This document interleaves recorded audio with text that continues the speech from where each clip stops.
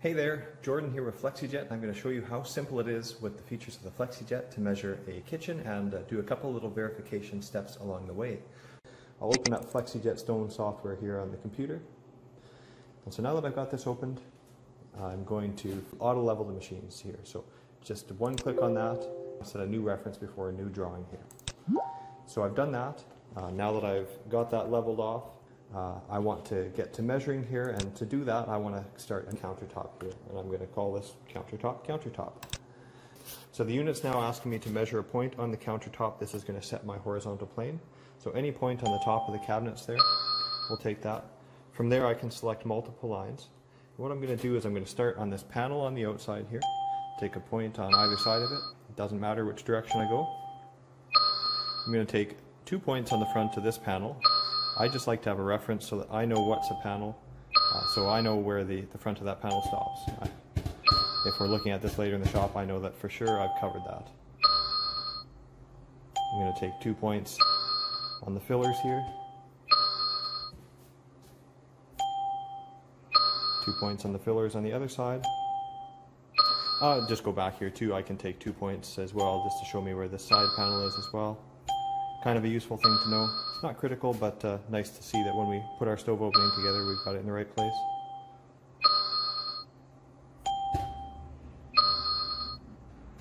I'll take a point on the front there, another point on the uh, on the other side of this cabinet here.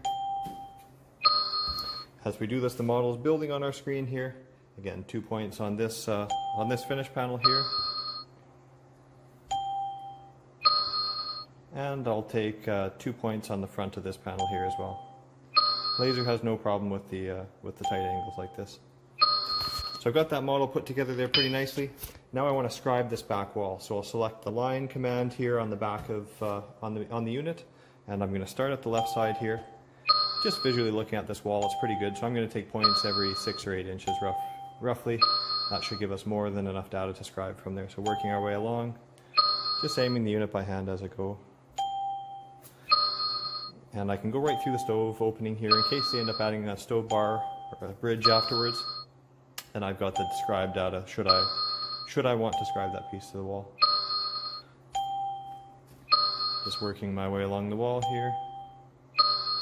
And we'll take another point there. And one more right in the corner. Not quite in the corner, but uh, about a half inch from it there. So I'll cancel that command there. As you can see on the software here, we're all put together what I'd like to do here is I would like to align this so that I'm looking at it a little bit straighter. Uh, there we go. Now my next step is going to be to connect these endpoints here. Uh, I want a straight line across either side of the stove cutout here. So I'm going to draw a line from left there to the right there. That's good to go. I'm just going to make sure we're aligned on that line there. That's going to make the front of my countertop going to offset that. I like to do 1.875 or 1 and 7 eighths there. So I've taken that line, offset it through there, confirm that. Take this line here, delete it, I no longer need it. To find the center of my stove here, I'm going to go right between these two, right at the center points, and then pull center and up. This line here is no longer needed, so I'm going to take that right out of there, and then I'm going to offset those lines. I like a 30 and a light eighth opening, so 15.05 and then offset those points over there. For the back wall here, pretty simple to just connect those points through there. Again, I'm not super concerned about what's going on behind the stove there because I don't expect we're going to need a stove bar there. Um, but if we did need it, we still have the data there. I want to now stretch these lines to meet this line. So I want to select the object I want to stretch to. That's this front line here. Press enter. Click on this line and this line. That's brought them through there. Uh, now on that function there, I want to I want to trim those off. And to do that, I'll just use the break function here. So select the item I want to break. The first point is this point here, and the second point's right there. I've just deleted that off there. And now again, I can connect this line here to the left, this one to the right. So that's all looking pretty good. I've got countertops here if I want to add some dimensions on there for a quick visual check pull up my tape measure and have a look at what that's looking like. You can see that my stove opening here is going to be 13 and 8, just like we like. But what I'd like to do is ask the laser to show me some things. So if I click on Show CAD Point, hover over that corner there, the little square there, and then, uh, and then ask the unit to, to do that by clicking on it. We'll see the laser is going to go and project that point right in that corner. So right at the plane there, I can see the lasers split nicely over the three points there. I'm pretty confident that that's to be very exact. And let's do that same thing with the other corner here. So we'll hover over the right here. Just watch what the laser's going to do here.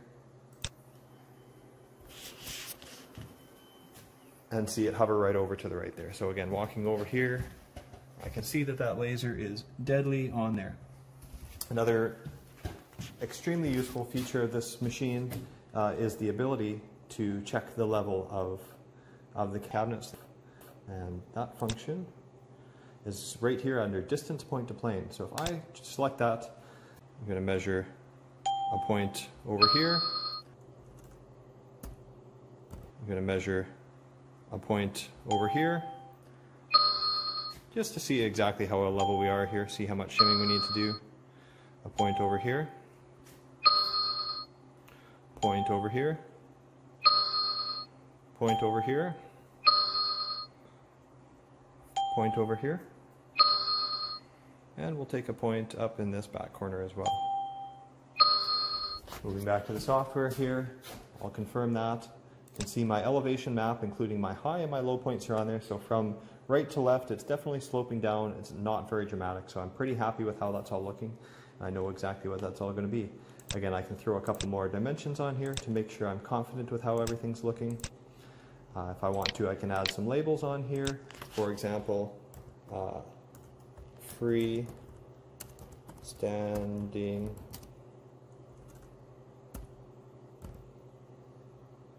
range. We've put that right where we want uh, it, right in the center. We'll move it over. My center dividing line from the stove can go here. Uh, if I were to click show measurement points here and display photo points, I've now got all these purple spots here. So these are actually the measurements points that I've taken. So every time the laser measures a point, it takes one. If I were now to just hover over this point here, I can see right there, right away, I'm looking at a panel. I shot that right on the the panel. It also shows me my measurement date and my measurement time that I took that.